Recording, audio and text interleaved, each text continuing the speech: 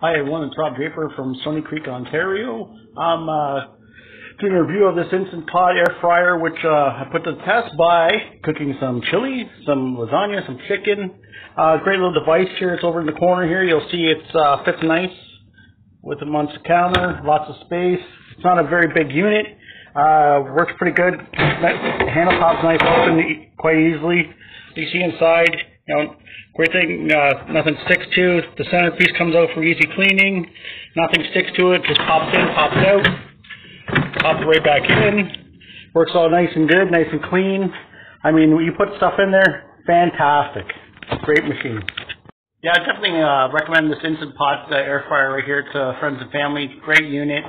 Uh, the only thing I would suggest is perhaps come up with some sort of uh, menu or um, recipe type book, something like that that will allow people to have better knowledge on how long to cook things. But man, the thing works amazing.